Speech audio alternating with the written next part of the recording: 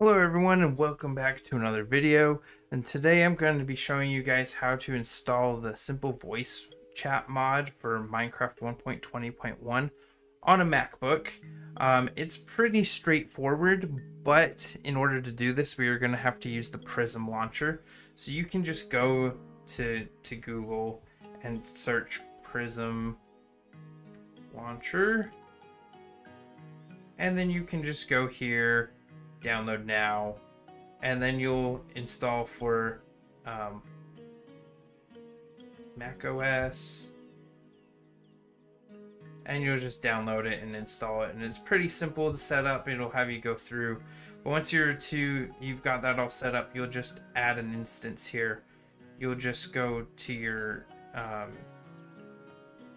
you'll just go to what version you want. You just go simple voice chat Okay, make sure you have Fabric or Forge. It doesn't really matter which one you do. It is available for both. I prefer Fabric.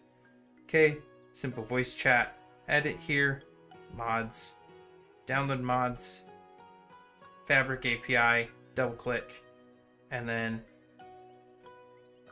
simple voice chat, double click.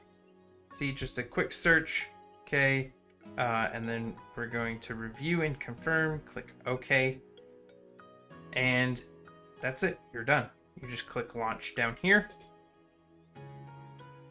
Okay, once you're in a world, it'll ask you if uh, it'll ask you Prism Launcher would like to have access to your microphone, and you'll click OK.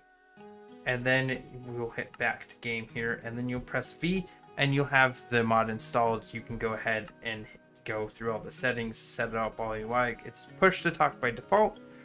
You can use your voice, and you'll see the microphone icon as normal. So, thank you guys very much for watching. Uh, please like if you were able to get this working. Uh, and subscribe for more videos like this. And we'll see you guys in the next one. See ya.